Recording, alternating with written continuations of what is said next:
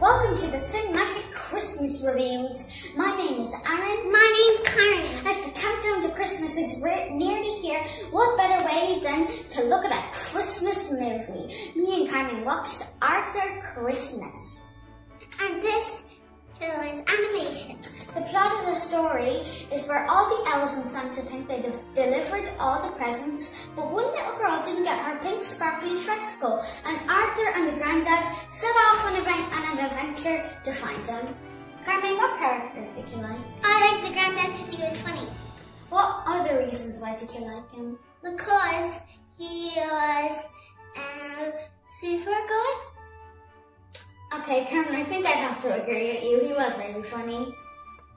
I'd give this film a 5 out of 5 and there's loads of adult humour for the mums and dads. Carmen, what would you give it? I would give it the same.